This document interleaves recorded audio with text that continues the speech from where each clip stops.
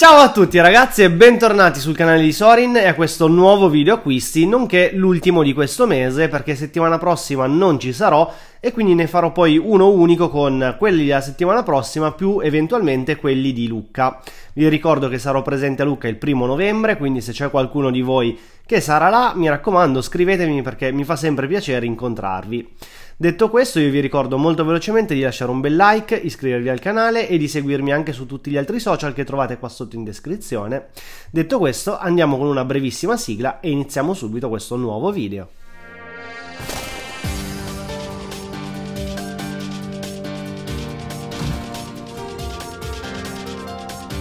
E come sempre partiamo dalla casa editrice di cui ho acquistato meno volumi, si tratta di Goen con tre volumi acquistati ed abbiamo il numero 13 di Teichi High School, storia di Usumaru Furuya, autore che mi piace tantissimo, lo sapete, quindi anche questa serie per me è straconsigliata. Si tratta di una storia ambientata in una scuola, ma non la classica storiella, diciamo, tra compagni di classe, no Qua bisogna ambire al potere, bisogna arrivare ad essere rappresentanti di istituto per fare un salto direttamente dalla scuola alla politica e quindi ci sarà una vera e propria guerra all'interno di, questa, di questo istituto per diventarne il responsabile, il rappresentante.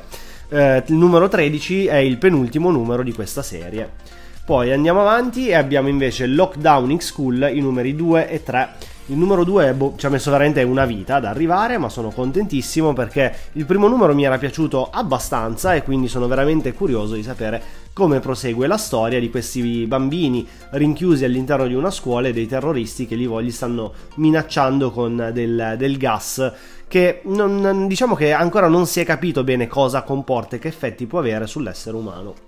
Poi andiamo avanti e passiamo a J-Pop ed abbiamo ovviamente una triade e la triade è composta dai tre numeri 1 di Frieren che possiamo vedere qua. Abbiamo il volume 1 con la variant esclusiva di Pop Store, abbiamo il numero 1 in edizione variant e abbiamo il numero 1 regular.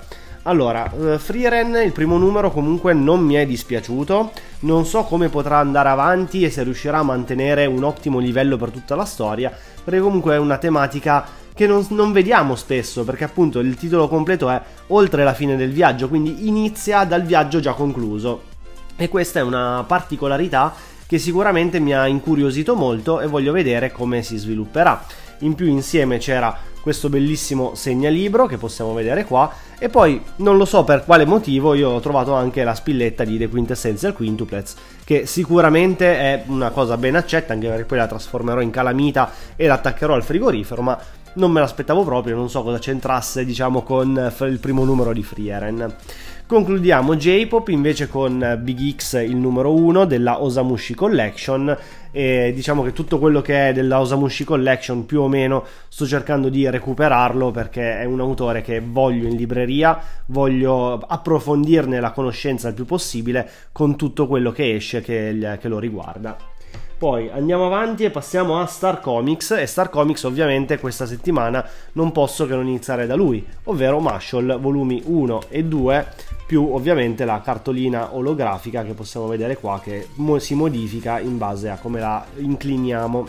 Allora, Marshall, primo, questi primi due numeri mi sono piaciuti anche in questo caso abbastanza, è una storia divertentissima con delle scene che veramente ero, ero lì che leggevo e dicevo ma su, sul serio sta succedendo, quindi promosso. L'unico dubbio che ho è che ho sentito più di una persona dire che intorno al numero 40, quindi diciamo che non tantissimo, sarà intorno al numero 6, forse numero 7 inizia un pochettino, mm, si capisce che l'autore non ha quasi più idee, non sa come andare avanti e ci sarà un miscuglio di azioni e di faccende che andremo a vedere che non, non, non si reggono in piedi.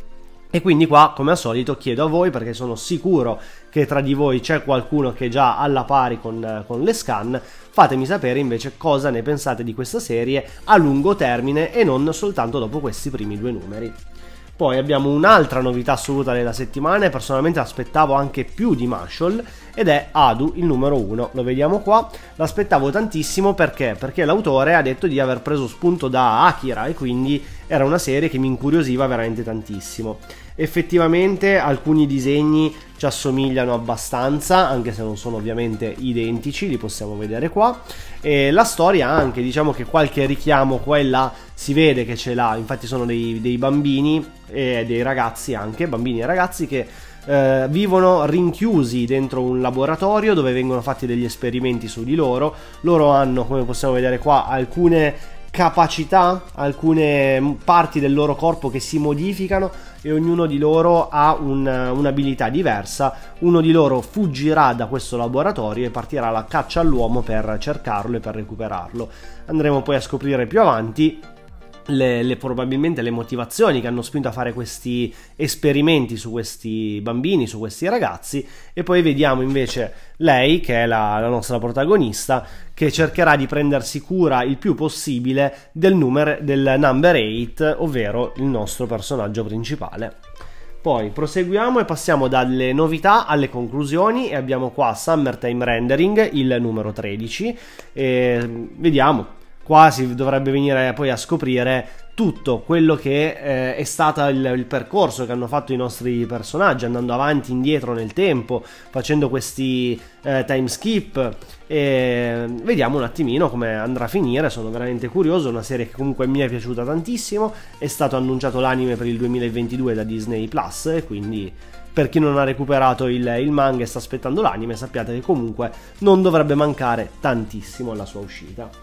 Concludiamo Star Comics con il, recu- il, continuo del recupero di Sailor Moon e questa settimana sono arrivati il 6 e il 7, li possiamo vedere qua. Le copertine sono veramente una cosa meravigliosa, ragazzi. Questa edizione, l'Eternal, è un qualcosa di fantastico e quindi anche qua voglio, voglio andare avanti, voglio leggerla. Ho letto nel frattempo Sailor V, non mi è piaciuto tantissimo, sono sincero. Sailor Moon invece, ragazzi, che dire, Sailor Moon è Sailor Moon, appunto.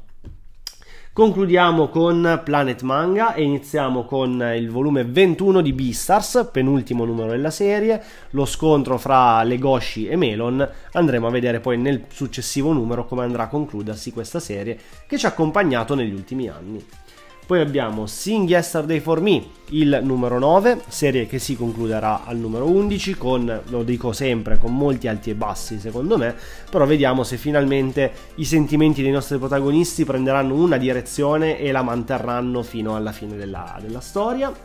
Poi abbiamo The Killer Inside, il numero 9, anche questo se non erro si andrà a concludere col numero 11, è una serie veramente molto thriller, psicologica con il nostro protagonista che ha la doppia identità. E consigliata anche questa per tutti gli appassionati del genere. E poi come ultimo numero delle novità, naturalmente dopo che lo stavamo aspettando da settimane, forse mesi, Full Metal Alchemist, il numero 5, e questo sarà il primo numero che mi metterò a leggere ora che ho letto le, tutte le novità, perché Full Metal Alchemist è Full Metal Alchemist, uno lo leggerebbe anche 3-4 volte senza ombra di dubbio. Passiamo ora ai recuperi anche di casa Planet Manga e abbiamo i numeri 4 e 5 di Fire Force, così mi manca soltanto il 3 per avere tutti i volumi usciti fino ad adesso. Poi abbiamo il numero 2 di Real, ragazzi bellissimo, straconsigliato, lo stanno ristampando, se potete recuperatelo e stesso discorso vale anche per l'altra opera di Inoue, ovvero Vagabond Deluxe, qua abbiamo il numero 10 il numero 9, se non cambia nulla, dovrebbe essere ristampato la settimana prossima. Ragazzi, vi ho mostrato tutti gli acquisti che ho fatto, fatemi sapere cosa ne pensate. Non ho acquistato Planet of the Fool perché sono ancora dubbioso sulla serie. Aspetto qualche altra recensione, aspetto di sentire degli altri commenti e poi deciderò se acquistarla o meno.